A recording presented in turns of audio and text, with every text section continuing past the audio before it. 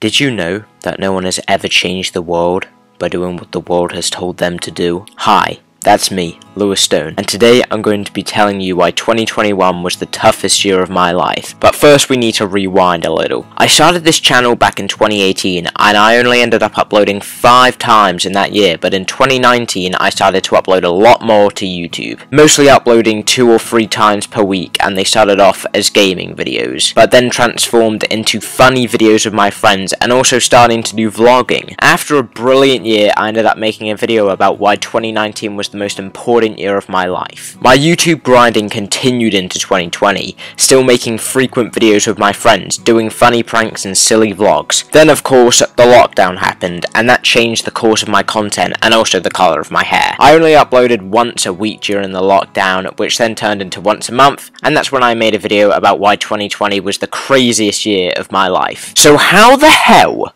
was 2021 the toughest year of my life? Let's answer that. After taking a month's break from YouTube at the start of 2021, I uploaded my first video in February, and it was a football video featuring Thugs Nation, who I became very close with throughout 2021. Okay, so I am here with Navesh, or NN77 part of the uh, Thugs Nation YouTube group, man. So I've got three yeah. questions for Navesh to answer. So yeah, what are you planning on doing in your future? And was YouTube ever going to be a part of it? For me, in my future, obviously, I want to become a I want to become a professional football player. Yeah. Hopefully in Europe one day, but I'm just working towards that. Um, I work almost every day. And yeah I just do whatever I can. Why was the reason you stopped uploading on the Thugs Nation channel? Was that mm-hmm. because like the oh, lockdown and stuff? Um, no, actually, I started because of lockdown. Yeah. So, um, initially, um, Thugs Nation was supposed to be something that uh, we did as a group with my friends. After a while, like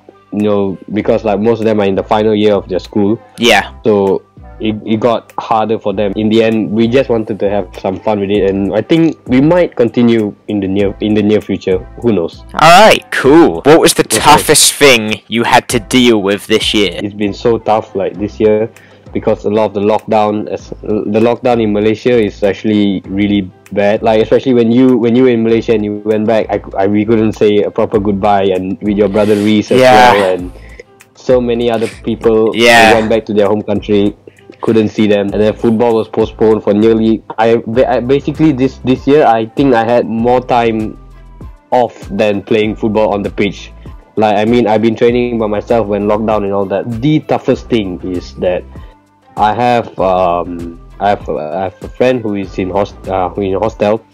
And I can't see them because um because of certain school rules and all that, and they can't come out of the hostel and all that. So oh. I would say that's that's that's one of the hardest yeah. things because since last year we never see each other. Yeah, that must suck, dude. Yeah. I couldn't go back to uploading frequently though, as I had a lot of exams coming up within those next few months, and I didn't have time to create videos whilst also trying to do the things I loved, and of course, revising for those exams. After those mock exams though, I created a Q&A as I wanted to make at least one video per month just so I could stay connected with all of you. During this time, life wasn't all that bad. For those past six months, due to me not uploading as much, it gave me more time for me to do my own stuff by hanging hanging out with friends, practicing my football, and of course a lot of other stuff. I wasn't as stressed at this point, and that's why life was going great for me. Then, in April, after three years of dedicating a lot of my own time to creating content to entertain many people, a doorway opened, and I began to go viral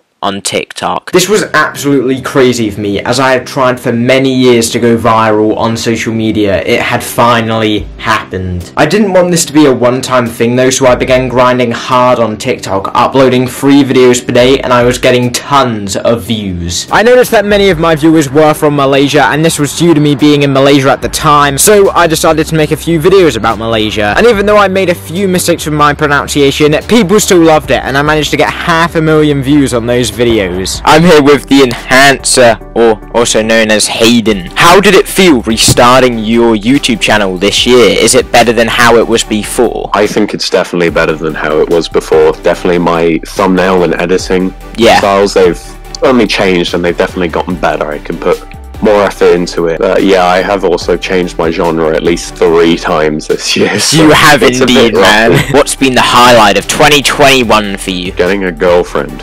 twice. Nice! What's changed the most in you since 2020? I feel like my hair. It, it was like this, and then it went to this, and now it's like this. Yes, your hair. Saying my hair's changed quite a lot. I've got a question for you, Lewis.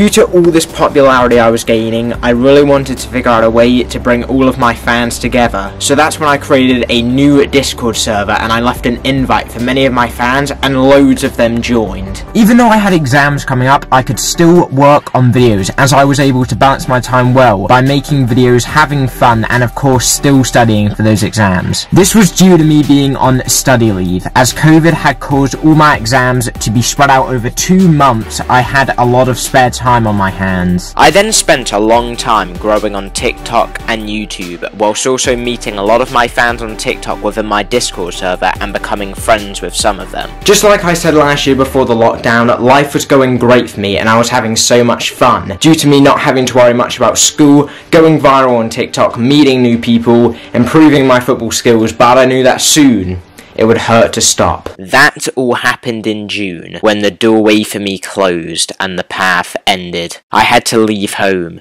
go back to Europe, and try to continue on with life there. This was heartbreaking for me after everything I had done. Grew my fan base, met amazing people, and was having fun with my life. I had to leave that all behind. I promised myself that that would never stop me from growing on TikTok and making videos to entertain people. Unfortunately, as the majority of my fans are from Asia, I stopped appearing on their FYP on TikTok and I stopped getting those views and followers. I'm here with um XL Hazza or Harris. He's got a cool YouTube channel, amazing animator. What were your main goals for 2021 and did you succeed in doing them? So my main goal was uh, probably be to get to 1,000 subscribers, which I have yet to uh, complete. I'm I'm I'm 25 off. Did anyone slash anything stop you or set drawbacks when trying to make your content? Yeah, actually, there was um, this sort of thing called COVID. Yeah. Not sure if you heard about it. If we're talking about people, then not really. Uh, I've actually uh, made a lot of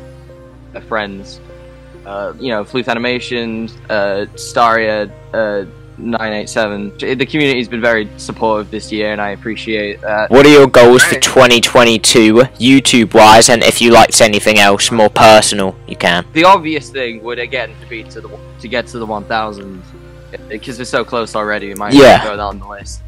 Um, but uh, another big one is that um, this isn't so much a goal. It's just it's just a project that I want to get finished. I cannot disclose too much, uh, but it may or may not be an hour long. I have a series called Virus. The last installment of that series uh, was Neighbors Part 1, which was a part 1 of 2. And I have been so scared to try and come back to it. I'm not gonna lie to you. I don't feel like I can live up to what I have in my head. That's cool, man. So we got like a movie kind of thing coming, an hour long maybe. I can call it a movie, but yeah, sure. That's what gets me views, sure, it's a movie. I didn't want my life to revolve around my TikTok, so I made sure that my summer of 2021 was the best it could be, despite leaving a lot of important stuff behind at the start of it. I took the time to continue posting YouTube videos, and also improving my Discord server a lot. As the summer went on, I got my exam results back, and to my surprise, I actually done very well, which made my summer a little better. But when it got to September, it was finally time to start regular life here for the next two years. I still wanted to try and make content for all of you, so I still made some videos on YouTube and TikTok, but it was hard for me as I was still missing home. Over this time though, my Discord server kept improving, and that's when I met a lot of cool new people that I chat with